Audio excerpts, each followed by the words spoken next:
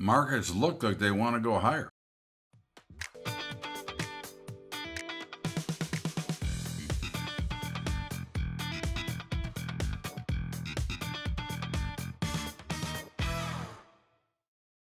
What's up, everybody? Welcome aboard to Bubba's Daily Update for Monday, the 10th of July. And, uh, you know, the markets were lower.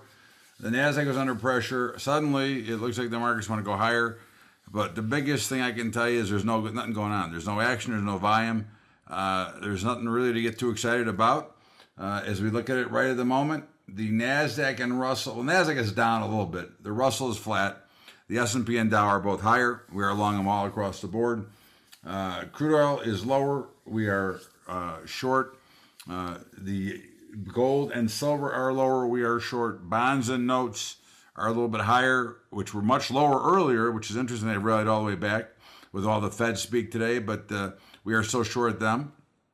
Euro currency is higher. We are long.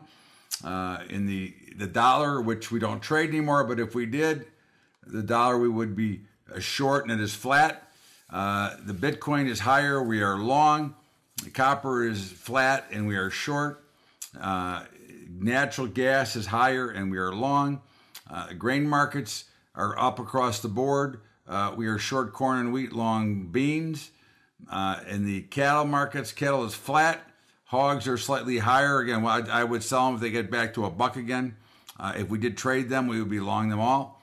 Uh, in the uh, softs, cocoa is higher. We are long. Cotton is lower. Sugar is lower. We are short both of those. OJ is flat. We're short. And coffee is lower and we're short. So you can see it's kind of a a big nothing. Okay, that this is a great. It's summertime. The summertime, whatever you want to call it. There's no real action in this market. Uh, it's going to take some news or something to drive these, uh, but I would suspect we will go higher from here. Uh, we we did close last week on support, and the, the push this morning trying to go lower brought it back up. So hey, look, it's a great time to go out and play golf, go swimming, do something.